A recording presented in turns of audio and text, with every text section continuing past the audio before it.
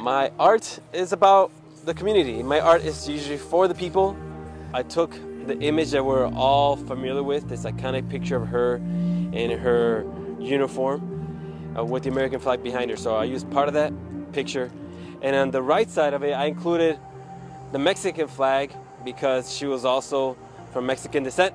So I painted the flag in the Mexican flag in blue, almost as if it's in way in the background, so that her portrait will be the one that will pop out. And not only did she um, get enrolled as a soldier to fight for this country and fight for the citizens of this country, um, but also carried her heritage in the background.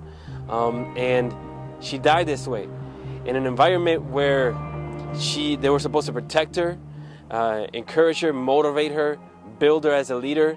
I felt it needed to be done because we were touched by it, the story that is, and we were moved by it.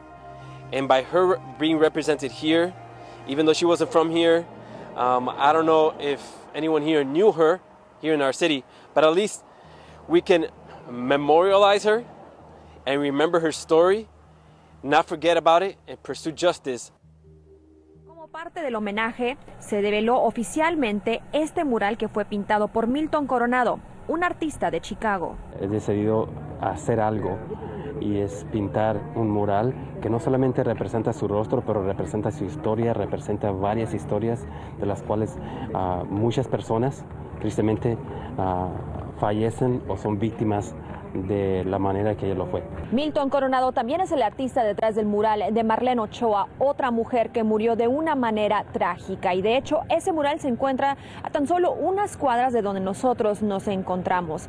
A través de su arte, Coronado dice que espera fomentar un cambio social. Sigan enseñándole a sus hijos a, acerca de esas situaciones que existen en el mundo para que paren de suceder. Formando desde Pilsen, Maribel González, Noticiero Telemundo, Chicago.